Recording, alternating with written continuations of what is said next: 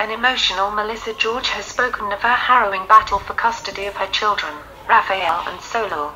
After a domestic violence incident with her former partner Jean David Blanc. in an interview on Channel 7's Sunday night, George recounted the incident in Paris in September last year in which she was repeatedly hit, and how its fallout had put an end to her acting career. George was taken to a police station by a New Uber driver and in the subsequent court case both she and Blanc were found guilty of assault. But for the Hollywood actress, that was just the start of her nightmare. She is now trapped in France. George told the program there were initial signs things were wrong in the union, including Blanc asking her to sign a legally binding agreement before her first child's birth. The document demanded that the boy be circumcised, that the family live in France and that the children were raised in the Jewish religion.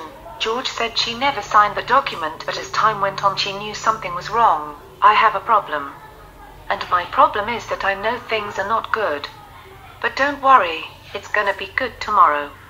It's not good today, but tomorrow you're gonna be okay, she said. On the night of the incident, September 7th, George confronted Blanc when he came home late and woke her up.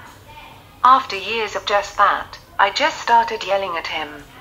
Like, you have to understand what I'm going through, as well, and then it just escalated into a 27 minute fight, she said. It started with him on top of me with my arms locked above my head. I used my feet to get him off me for five minutes. I wet the bed. I wet the floor. I just went into a crazy. It was just a moment of like, I'm in deep S. I fought as hard as I could. He pushed me into the door and then struck my face and I hit the wall and fell on the floor and I was out.